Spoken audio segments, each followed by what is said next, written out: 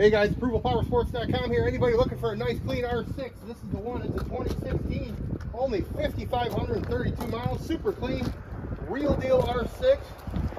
Sharp bike, comes in that matte gray paint, got a blacked out windscreen, CRG adjustable levers and more.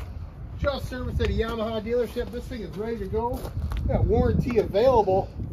Don't miss it. Give us a call. We'll get it done. 810 648 9500.